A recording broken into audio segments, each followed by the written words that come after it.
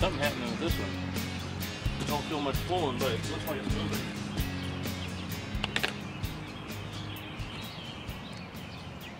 Oh yeah. Right. Oh, catfish of some kind.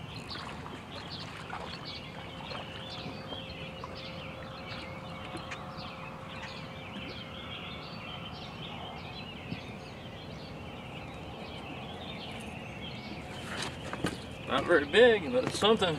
Little uh, channel cat, not more than about 14 or 15 inches. I caught this guy on one of these bait saver hooks. I'll show it to you if I can get it out of his mouth. Bait saver hooks have a little bait saver wire here that comes around. Um, I've done another video of of how how they work, but basically you put the bait on, then you bring the bait saver wire around the front of the hook and then you can there's a little sleeve on it that you can draw it tight.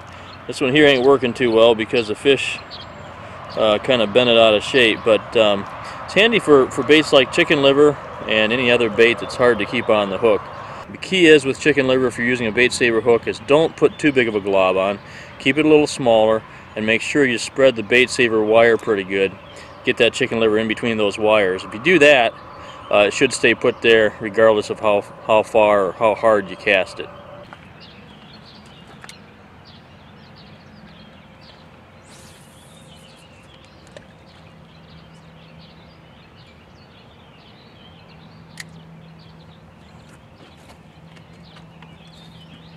Grand Lake St. Marys has been the subject of a lot of hand wringing and a lot of debate over the past three or four years.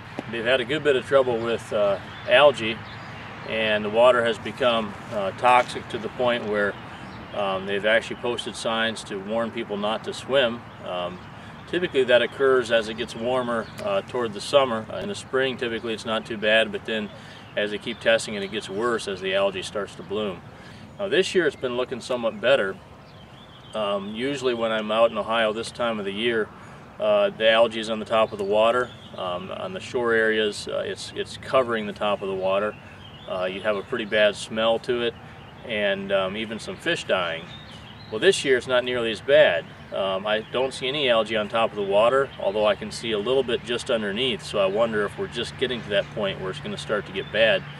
And um, some have said that you know the reason for this is that the efforts are working but then others would argue that it's just because of the fact that that there's been cold weather for later this year than, than usual. So uh, we'll see how it all works out. Um, it's kind of a shame. It's a, it's a nice lake. There's lots of economic benefits to the area having the lake working well. And um, so hopefully uh, they can get it cleaned up and um, make it more usable. We got something happening. Had this one tossed out right along the rocks. Looks like I got something on it.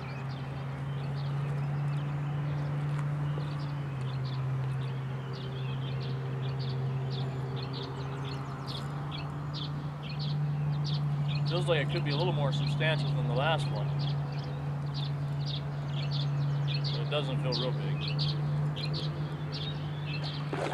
Ooh. Yeah, it has a little more size. Still a small one though.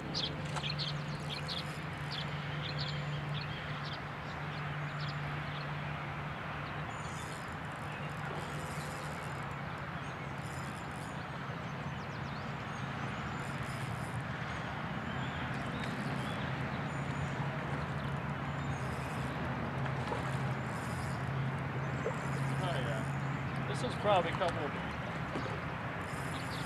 a little over 20 inches.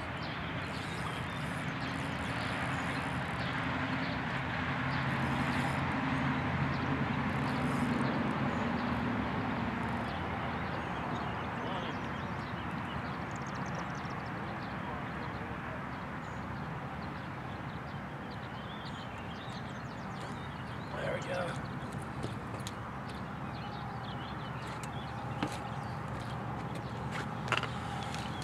Settle down there, buddy. Settle down.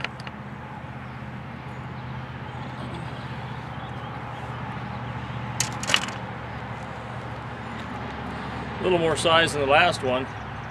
I got this on a bait saver hook just like the last time. This is a, a 3 odd hook and uh, had some chicken liver on it and seemed to do the job.